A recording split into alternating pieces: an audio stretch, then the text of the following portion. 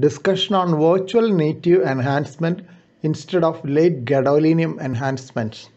Late gadolinium enhancement cardiovascular magnetic resonance imaging is considered the gold standard for non-invasive myocardial tissue characterization. Artificial intelligence was used to develop a CMR virtual native enhancement imaging which does not need an intravenous contrast as in LGE.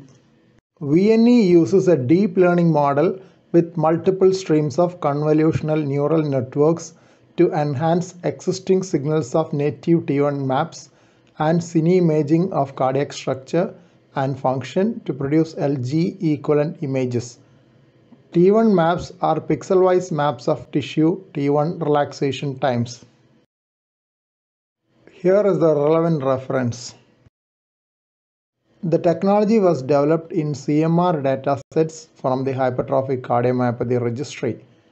Datasets were randomized into two independent groups for deep learning and testing as is usual with artificial intelligence programs. Test data of VNE and LGE was scored by experienced persons to assess image quality, myocardial lesion quantification, and visuospatial agreement. 4093 triplets of matched T1 maps, CINE and LGE datasets were obtained from 1348 HCM patients. 2695 datasets were used for the development of VNE method and 345 for independent testing. Significantly better image quality than LGE was obtained by VNE. VNE correlated with LGE in detecting and quantifying both hyperintensity and intermediate intensity myocardial lesions in 326 datasets from 121 patients. A remarkable feature was that native CMR images can be acquired within 15 minutes and VNE image produced in less than a second.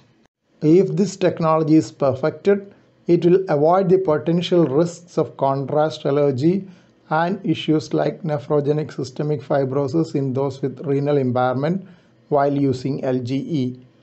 The good amount of post-processing time needed for getting good quality LGE images may also be saved.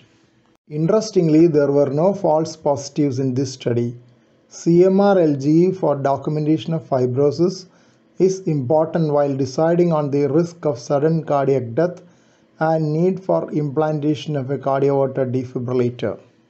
In a previous study, native T1 mapping was performed using a shortened modified Look-Locker imaging ShMOLLI technique in 25 HCM patients and 20 controls. This was followed by LGE imaging after 10 minutes. There was very good agreement between fibrosis sizes calculated from the two methods. The authors concluded that native T1 mapping can be used for non-contrast assessment of myocardial fibrosis in HCM. VNE can be seen as an enhancement over the previous native T1 mapping by ShMOLLI technique.